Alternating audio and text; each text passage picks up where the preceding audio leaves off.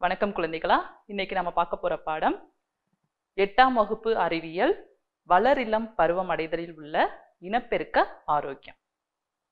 சரி, இனப்பெருக்க ஆரோக்கியத்துல நம்ம என்ன தலைப்புகள்லாம் பார்க்க போறோம்னு பார்த்துக்கலாம்.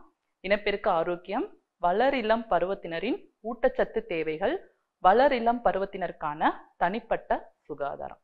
சரி ஒண்ணுன்னா பார்க்கலாமா? இப்போ நம்ம ஒருத்தவங்கள பார்க்குறோன்னு வச்சுக்கோங்கடா. முத நம்ம என்ன கொஸ்டின் கேட்போம்? நல்லா இருக்கீங்களா? சௌக்கியமா இருக்கீங்களா?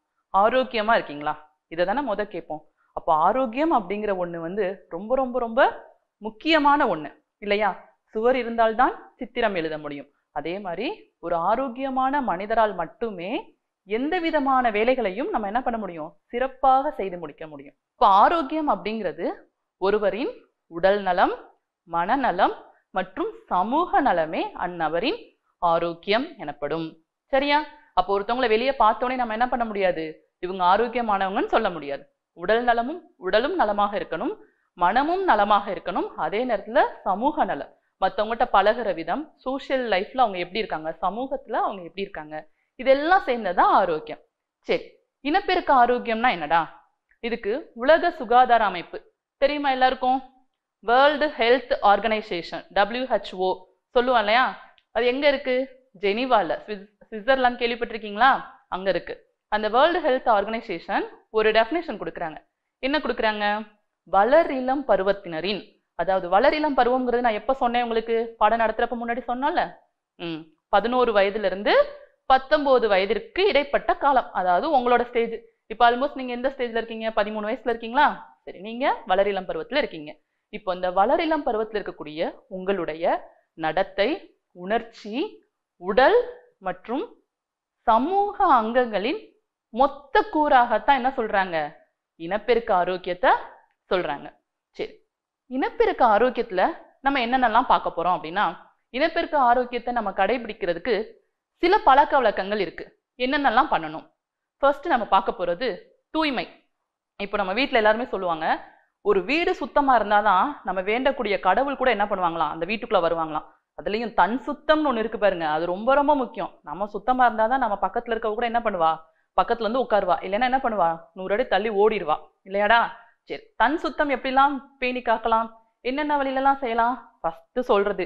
வீட்டில் பேரண்ட்ஸ் என்ன சொல்லிட்டே இருப்பாங்க? காலையில் எந்திரிச்சதுல குளிடா குளிக்க போடா சொல்லிட்டே இருப்பாங்களா? காதில் வாங்குவோமா நம்ம? கண்டிப்பாக இல்லை. ஃபஸ்ட்டு என்ன பண்ணணும்?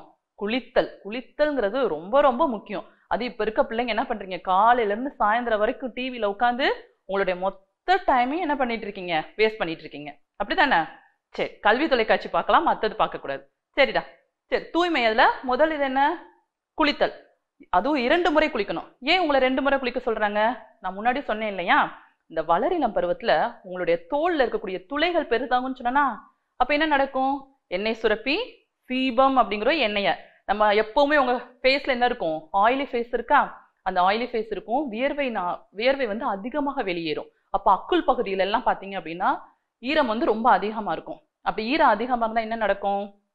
பாக்டீரியா பூஞ்சை போன்ற நுண்ணுயிரிகள் நல்லா பெருகி வாழும். அதுங்களுக்குலாம் பிடிச்சது என்ன அப்படின்னா நம்மளுடைய வியர்வை வாடை. அந்த வியர்வையில் இருக்கக்கூடிய அந்த வியர்வை தான் அதுக்கு ரொம்ப பிடிச்சது. ஸோ அப்போ அதில் நிறைய பாக்டீரியாக்கள் வளர ஆரம்பிக்கும். வளர்ந்தா நல்லதா? பாக்டீரியாவுக்கு வீடு கொடுக்கலாமா நம்ம? என்ன நடக்கும்? தோல் சம்பந்தமான நோய்கள் உருவாகும். இல்லையா? அரிப்பு வர்றது ரேஷஸ் வர்றது நிறைய அந்த இச்கார்ட் எல்லாம் போடுவாங்கல்ல ஒவ்வொருதா பார்த்தோன்னே போய் சொரிய ஆரம்பிச்சிடுவாங்க இல்லையாமா அந்த மாதிரியான நோய்கள்லாம் உருவாகும். அப்ப நம்ம என்ன பண்ணணும்? கண்டிப்பா தூய்மையை பேணி காக்கணும்னா ரெண்டு தடவை குளிக்கணும். சரியா? காலை மாலை. சரி குளிக்க சொல்லிட்டாங்க மிஸ் ஓடிடலாம். அம்மா சொல்லிக்கிட்டே இருக்காங்க வேற வழி இல்லை. உள்ள ஓடினோன்னு என்ன பண்ணுவ?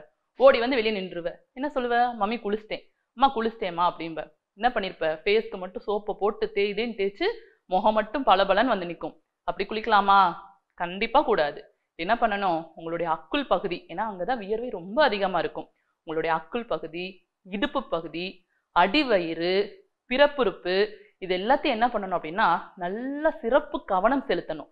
நல்லா தேய்ச்சி குளிக்கணும். ஏன்னா அங்கெல்லாம் நோய் தொற்று சீக்கிரமாக உருவாகும். சீக்கிரமாக நுண்ணுயிரிகள் வந்து என்ன பண்ண ஆரம்பிச்சிடும் வாழ ஆரம்பிச்சிடும் அப்போ அந்த பகுதிகளுக்கு நம்ம என்ன பண்ணணும்?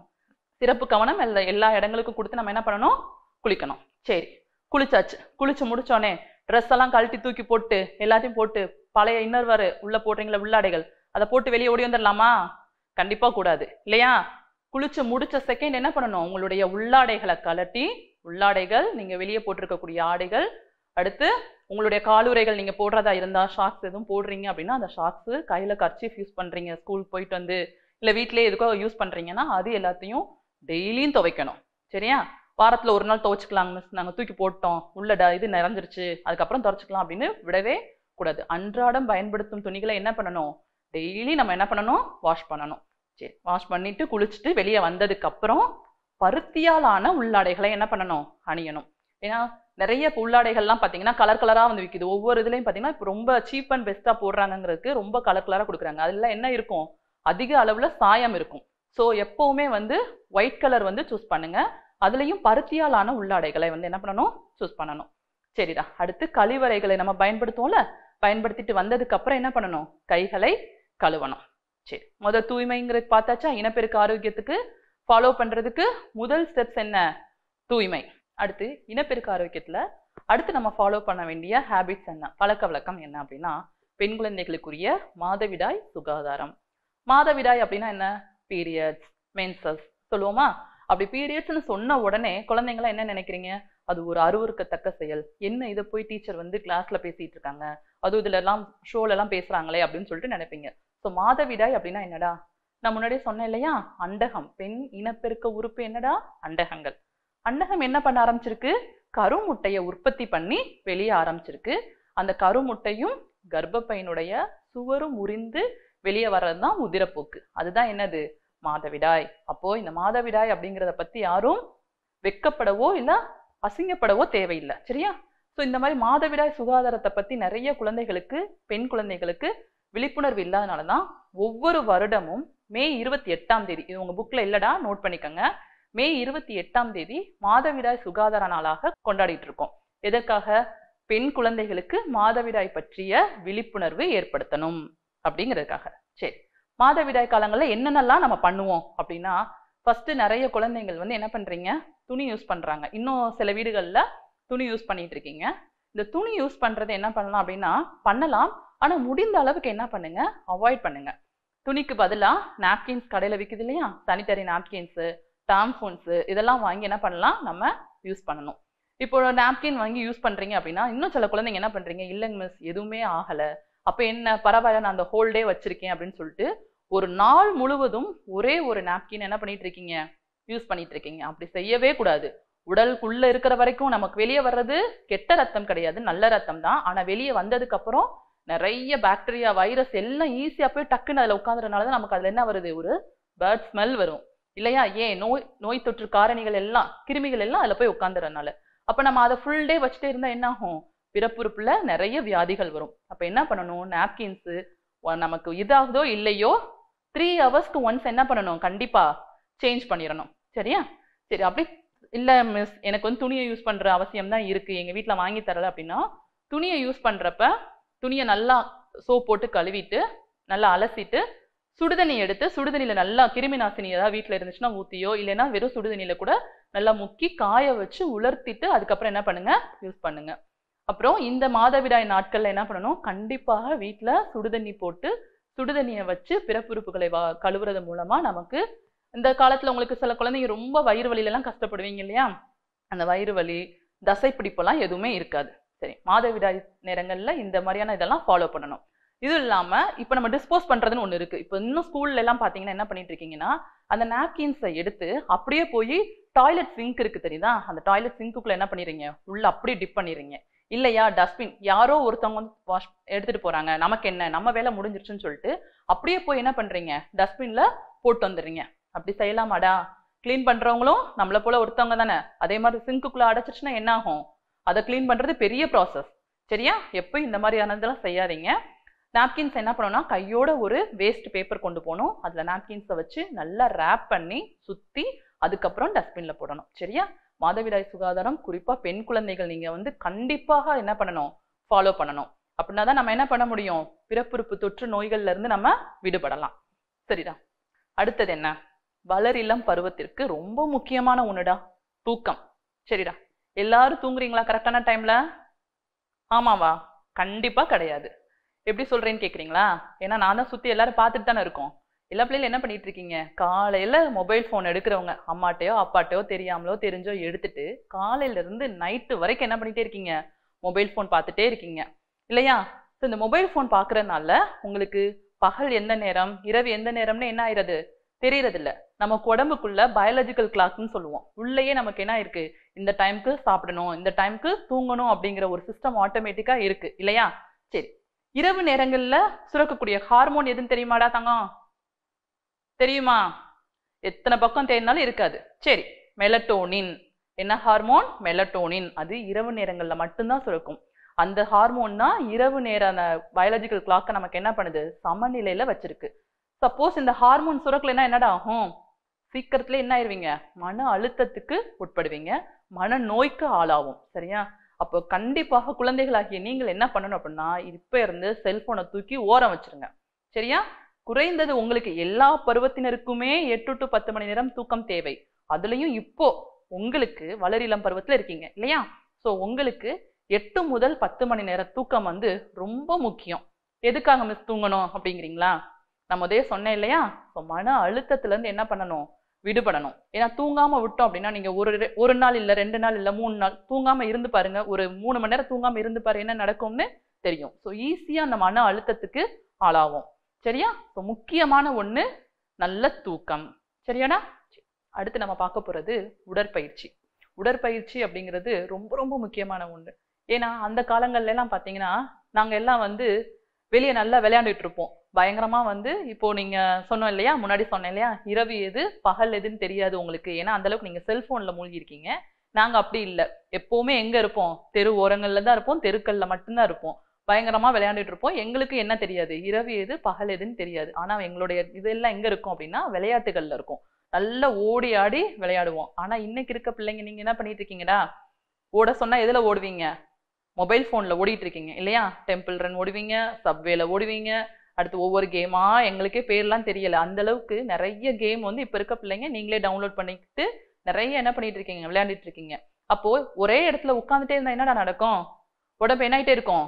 வெயிட் போட்டுட்டே இருக்கும் இல்லையா? வெயிட் போட்டுட்டே இருந்தா என்ன ஆகும் அப்புறம் அது தொடர்பான நோய்கள் எல்லாமே வர ஆரம்பிக்கும். அப்போ இப்போ உங்களுக்கு மிக முக்கியமான ஒண்ணு எதுடா?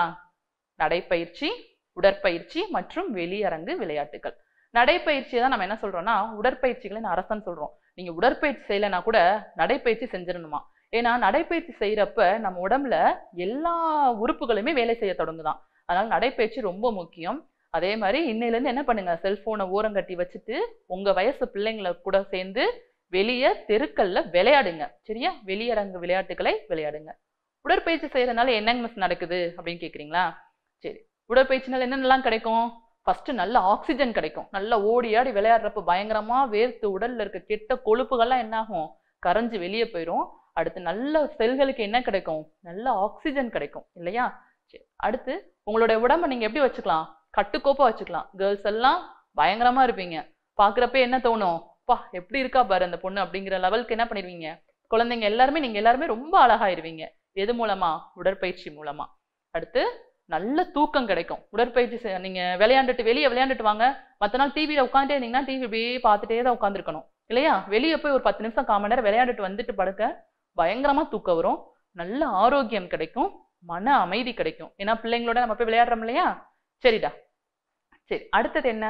வளரிளம் பருவத்தினரின் ஊட்டச்சத்து தேவைகள். நான் முன்னாடியே சொன்னேன் வளரிளம் பருவம் அப்படிங்கிறது ஒரு விரைவான மாற்றங்கள் உள்ள காலம். அதாவது இந்த பதினோரு வயதுலேருந்து பத்தொம்போது வயதுக்குள்ள நீங்க தொண்ணூறு சதவீத வளர்ச்சி அடைவீங்க.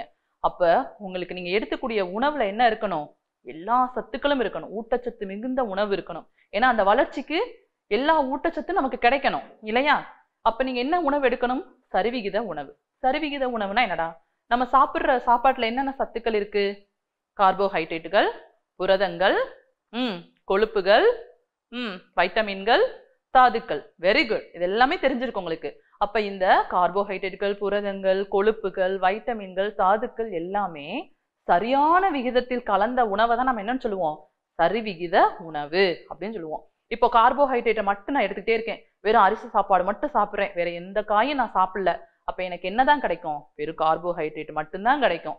அப்போ எனக்கு என்ன நோய் வரும்? புரதம் எதுவுமே எனக்கு கிடைக்காது. அப்படிதானே புரத சத்து எதுவுமே இருக்காது. விட்டமின்கள் இருக்காது. தாதுக்கள் இருக்காது. அப்போ இது எல்லாமே கலந்தது தான் நம்ம என்ன பண்ணணும்? டெய்லியும் எடுத்துக்கணும். இந்திய சரிவிகித உணவு அப்படிங்கிறது என்னன்னா ஒரு சப்பாத்தி ஒரு ரொட்டிங்கிறது என்னது? ஒரு சப்பாத்தி. அடுத்து வேற என்ன?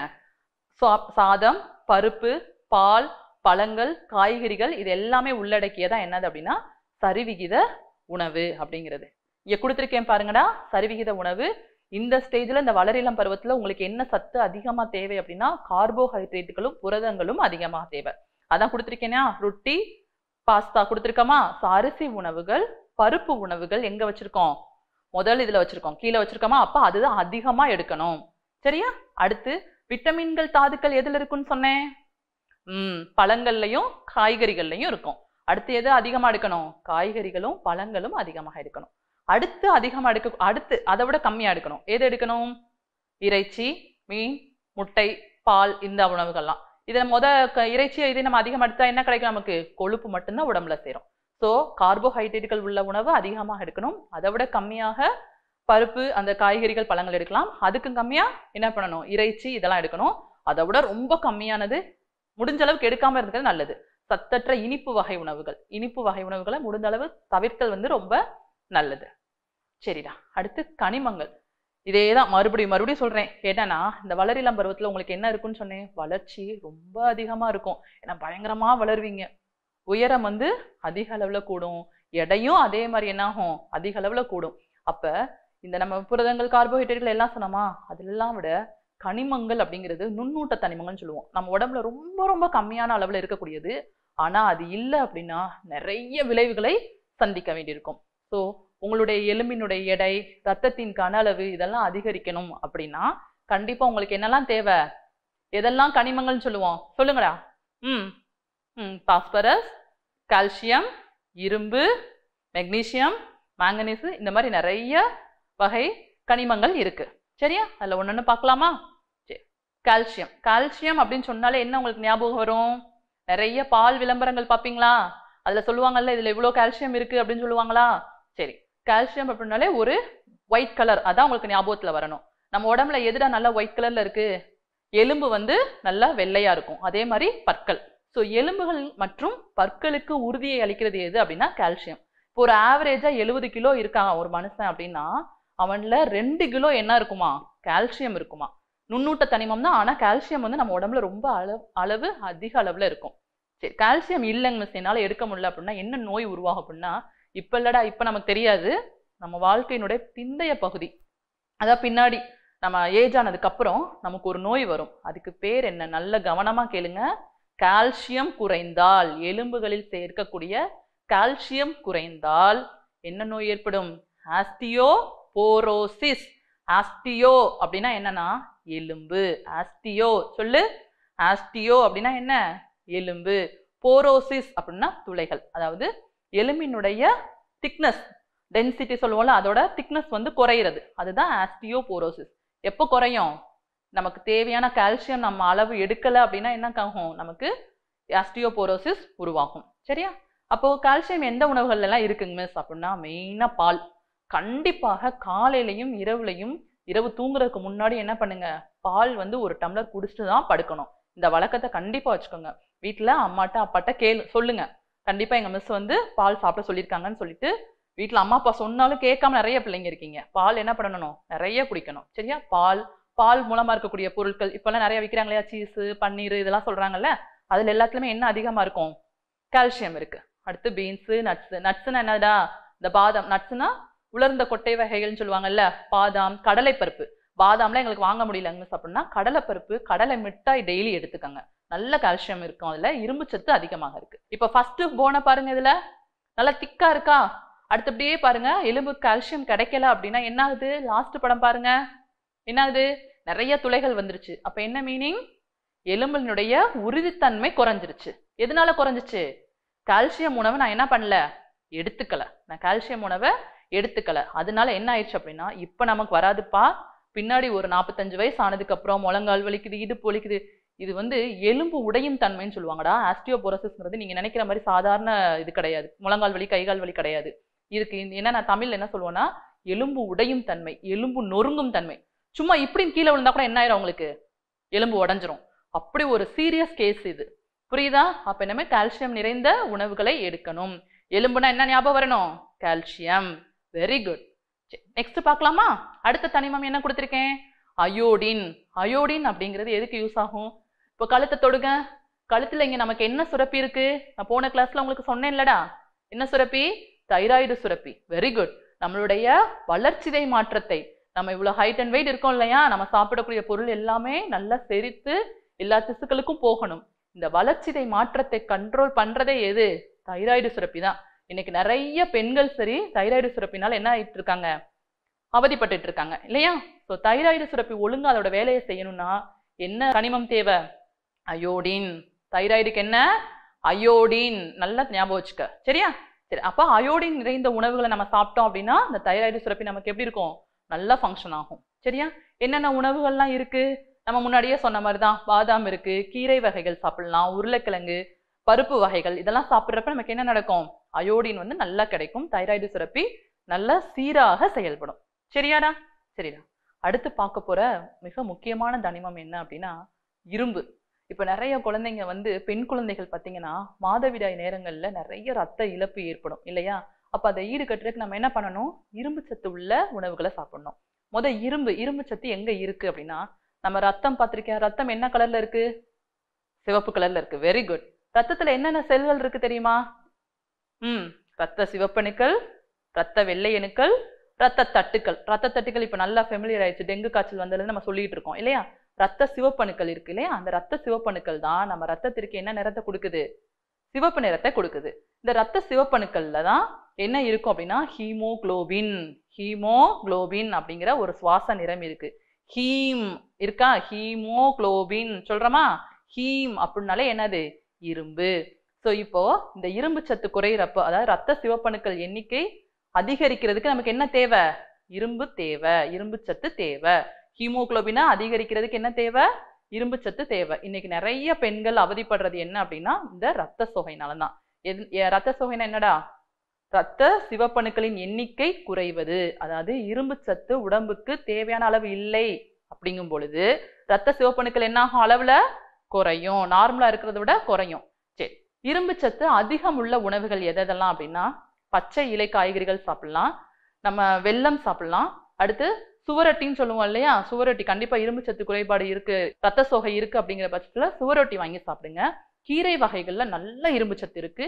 இறைச்சி மீன் நெல்லிக்காய். நெல்லிக்காய் ரொம்ப அருமையான உணவுடா. நல்லா வந்து ஹீமோகுளோபின் என்ன பண்ணும்? கூட்டி கொடுக்கும். அடுத்து சிட்ரஸ் பழங்கள்.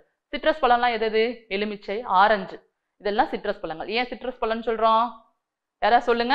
ம் சிட்ரிக் ஆசிட் அதில் இருக்கனால சிட்ரஸ் பழம்னு சொல்கிறோம் வெரி குட்ரா அடுத்து பருப்பு வகைகள். இதெல்லாம் சாப்பிட்றப்ப நமக்கு என்ன கிடைக்கும்? நல்ல இரும்பு இரும்பு சத்து கிடைக்கும். அப்போ ரத்த சோகை நமக்கு வராமல் இருக்கும். சரியா? இந்த படத்தை பாருங்க. இந்த படத்தில் முத படம் போட்டிருக்கோமா? அதில் பாருங்க ரத்த சிவப்பணுக்கள் வந்து நல்லா நிறைய இருக்கு. அதாவது சரியான அளவில் இருக்கு. ரெண்டாவது படம் பாருங்க. ரத்த சோகை. ரத்த சோகைன்னு என்ன அர்த்தம்? அனிமியான்னு போட்டிருக்காங்களா? அனிமிக் அப்படிங்கிறாங்களா? இங்கிலீஷில் அனிமிக்னு சொல்லுவோம். இங்கே என்ன இருக்கு? ரத்த சிவப்பணுக்களுடைய எண்ணிக்கை ரொம்ப கம்மியாக இருக்குது அப்ப என்ன ஆகாது அப்படின்னா ஆக்சிஜனை கரெக்டான அளவில் எடுத்துட்டு போய் எல்லா திசுக்களுக்கும் கொடுக்க முடியாது. சரியா? இதான் ரத்த சோகைனா ரத்த சிவப்பணுக்களினுடைய எண்ணிக்கை குறைவது. அப்ப இரும்பு சத்து இல்லைன்னு அர்த்தம். சரியாடா? சரி. அடுத்து பார்க்க போறது ரொம்ப முக்கியமான ஒண்ணுடா. வளர் இளம் பருவத்தினருக்கான தனிப்பட்ட சுகாதாரம். தனிப்பட்ட சுகாதாரம் அப்படின்னா என்னன்னா ஒரு மனிதனுடைய ஆளுமையை உணர்த்தும் குறியீடு. அதாவது ஒருத்தவங்கள பர்சனாலிட்டி பார்த்த உடனே ஒருத்தவங்கள பார்த்தனே சொல்றோம் இல்லையா? ஆஹ் இவங்க ரொம்ப நீட்டா இருக்காங்கப்பா. இவங்கள்ட்ட நல்லா பேசலாம் அப்படின்லாம் சொல்றோம் இல்லையா? ஸோ அவங்களுடைய பர்சனாலிட்டியை குறிக்கக்கூடிய ஒரு குறியீடு தான் என்ன அப்படின்னா தனிப்பட்ட சுகாதாரம். அப்போ நம்மளுடைய பர்சனாலிட்டியை எது குறிக்குது? தனிப்பட்ட சுகாதாரம். நம்ம எந்த அளவுக்கு சுத்தமா இருக்கோமோ அந்த அளவுக்கு தான் நம்மகிட்ட பக்கத்துலேயே நின்று பேசுவாங்க. இல்லையா? சரி என்னென்னலாம் பண்ணலாம்? தனிப்பட்ட சுகாதாரம் மெயின்டைன் பண்ணணும். நான் வந்து ரொம்ப சுகாதாரமா இருக்கணும் அப்படின்னா என்னென்னலாம் பண்ணலாம்? நான் முன்னாடி சொன்ன மாதிரி தினமும் என்ன பண்ணணும்? குளிக்கணும். தினமும் குளிக்கணும். சாப்பிட்டதுக்கு முன்னாடியும் பின்னாடி பின்னாடி கை கழுவிடுவோம் கண்டிப்பாக கழுவணும். முன்னாடி யாரும் என்ன பண்ண மாட்ற? கழுவ மாட்றீங்க. ஸோ சாப்பிட்றதுக்கு முன்னையும் பின்னையும் கைகளை கழுவணும்.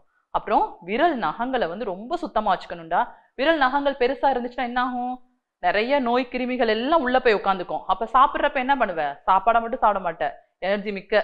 உள்ளே இருக்கக்கூடிய பாக்டீரியா வைரஸ் எல்லாத்தையும் சேர்த்து நம்ம என்ன பண்ணிகிட்டே இருப்போம்? சாப்பிட்டுட்டே இருப்போம். ஸோ என்ன பண்ணணும்? விரல் நகங்களை சுத்தமாக வச்சுக்கணும். நெயில் பாலிஷ் போடுறது. நகை பூச்சின்னா என்னடா? நெயில் பாலிஷ் போடுறத அவாய்ட் பண்ணணும். சரியா? சரி. அடுத்து உணவு மு- சாப்பிட்றதுக்கு முன்னையும் பின்னையும் என்ன பண்ணணும்? பற்கள் வாயை வந்து நல்லா சுத்தம் செய்யணும். அப்புறம் என்ன பண்ணணும்? சாப்பிட்டதுக்கு அப்புறம் நல்லா தண்ணி ஊற்றி வாயை நல்லா குப்பிளிக்கணும் சரியா? சரி. அடுத்து அம்மாவோ யாரோ சமைச்சிட்டு இருக்காங்க அப்படின்னா நீ பக்கத்தில் இருக்கும்போது உனக்கு இருமுலை தும்முலை வந்துச்சுன்னா என்ன பண்ணணும் முத? மூக்கு வாயை எல்லாத்தையும் மூடிக்கணும். வாயை வந்து நல்லா மூடிக்கணும். அதேமாதிரி அந்த இடத்துல நின்றுட்டு போய் மூக்க நோண்டுறது வாயை தொடுறது முகத்தை தொ இது பண்ணுறது இந்த வேலையெல்லாம் என்ன பண்ணக்கூடாது? செய்யக்கூடாது. அதே மாதிரி பொது இடங்கள்லையும் தும்மல் வந்தா இப்போ எல்லா அட்வர்டைஸ்மெண்ட் பார்த்துட்டே இருக்கீங்க. ஏன்னா நம்ம பயங்கரமாக கொரோனா தொற்று பரவிட்டு இருக்கு. இல்லையாடா? இப்போ நிறைய அட்வர்டை அட்வர்டைஸ்மெண்ட் பார்த்துட்டு தான் இருக்கீங்க. வெளியே பொது இடங்களில் தும்மல் வந்துச்சுன்னா என்ன பண்ணணும்? கர்ச்சீஃப் வச்சு மூடணும். சரியா? அடுத்து உள்ளாடைகளை தினமும் மாற்றி துவைக்கணும். துவைச்சு அதுக்கப்புறம் காய வச்சு வெயிலில் நல்லா உலர்த்திட்டு அதுக்கப்புறம் தான் என்ன பண்ணணும்? போடணும். அடுத்து ரொம்ப முக்கியமான ஒன்று திறந்த வெளியில் மலம் கழிக்க கூடாது. எங்க இப்போ மேக்ஸிமம் யாரும் இல்லை. குழந்தைங்க எல்லாமே வந்து வீட்டில் டாய்லெட் என்னெல்லாம் யூஸ் பண்ண ஆரம்பிச்சிட்டிங்க இன்னும் சில பிள்ளைங்க என்ன பண்ணிட்டு இருக்கீங்க? பண்ணிட்டு இருக்கீங்க. திறந்த வெளியில் என்ன பண்ணக்கூடாது மலம் கழிக்க கூடாது. கழிவறையை தான் உபயோகப்படுத்தணும். சரியாடா? சரி அடுத்து இப்போ ஏதோ ஒன்று நமக்கு உடம்புக்கு சரியில்லை அப்படின்னா நானே போயிட்டு என்ன பண்ணக்கூடாது? மெடிக்கல் ஷாப் போனேன் ரெண்டு டேப்லெட்டை வாங்கி போட்டேன். ஆ நல்லாயிருச்சுப்பா எனக்கு அப்படின்னு சொல்லிட்டு இல்லை அம்மாட்டே அப்பாட்டே சொல்லிட்டு வயிறு வலிக்குது ரெண்டு டேப்லெட் வாங்கிட்டு வாங்கன்னு சொல்லக்கூடாது. கண்டிப்பாக உடல் நலம் பாதிக்கப்பட்டால் யாரை போய் பார்க்கணும்? டாக்டரை போய் பார்த்து அவங்களோட ப்ரெஸ்கிரிப்ஷனில் தான் நம்ம என்ன பண்ணணும்? மருந்துகளெல்லாம் வாங்கி சாப்பிடணும். சரிடா இன்னைக்கு நம்ம என்ன பார்த்தோம்? இனப்பெருக்க ஆரோக்கியம்னா என்னன்னு பார்த்தோம். இல்லையா? இனப்பெருக்க ஆரோக்கியத்தில் நம்ம நம்ம உடம்பை எப்படி சுத்தமாக வச்சுக்கிறது? பெண் குழந்தைகளாக இருந்தால் மாதவிடாய் நாட்களில் எப்படி நம்ம சுகாதாரத்தை பேணி காட்பது அடுத்து உடற்பயிற்சி ரொம்ப முக்கியம்னு பார்த்தோம். தூக்கம் ரொம்ப முக்கியம்னு பார்த்தோம். இல்லையா? அடுத்து நிறைய சத்தான உணவுகள் என்னென்னலாம் சாப்பிடணும்னு பார்த்தோம். அப்புறம் என்ன பார்த்தோம்? தனிப்பட்ட சுகாதாரம்னா என்னன்னு பார்த்தோம். சில கனிமங்கள் பற்றிலாம் பார்த்தோம். சரி இன்னைக்கு நல்லா கவனிச்சிங்களா? மிஸ் நடத்தினது புரிஞ்சதா? சரிடா. ஒரு ரெண்டு மூணு கொஸ்டின் கேட்கலாமா?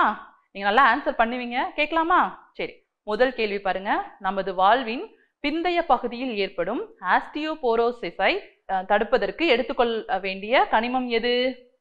ஆன்சர் சொல்லட்டுமா? ஆ பொட்டாசியம் ஆ பாஸ்பரஸ் இ கால்சியம் இ இரும்பு ஆஸ்டியோபோரோசிஸ் எலும்பு. சொன்னனடா? சொன்னனா? சரி என்ன தேவை? என்ன தேவை? கால்சியம் வெரி குட் சரிடா. செகண்ட் கொஸ்டின் பார்க்கலாமா? ரெண்டாவது ஒரு கொஸ்டின் பார்த்துடலாமா? டேஸ் என்பது ஒரு தனி மனிதனின் ஆளுமையினை குறிக்கும் குறியீடாகும். இப்பதானே பார்த்தோம் அது என்னன்னு? சொல்லுங்க. ஆப்ஷன் சொல்லட்டுமா? ஆ சுற்றுப்புற தூய்மை ஆ தனிப்பட்ட சுகாதாரம் இ உடற்பயிற்சி இ இவற்றில் எதுவும் இல்லை. என்னடா? என்ன ஆன்சர் ஆ சூப்பர் வெரி குட் தனிப்பட்ட சுகாதாரம். சரி இப்போ நீங்க வீட்டில் இருக்கீங்க ஒரே ஒரு ஃபாலோ அப் ஆக்டிவிட்டி பண்ணலாமா? என்ன பண்ணணும் அப்படின்னா ஊட்டச்சத்து மிகுந்த உணவுகள் நான் ஒரு லிஸ்ட் சொன்னேன்னா இந்த ஊட்டச்சத்து மிகுந்த உணவுகள் எல்லாமே நீங்க ஒரு மேகசின்ஸ்லயோ இல்ல நியூஸ் பேப்பர்லயோ என்ன பண்ணணும் அப்படின்னா படங்களை வந்து சேகரித்து ஒரு ஆல்பம் தயாரிங்க. சரியாடா? சரி குழந்தைங்களா? நன்றி.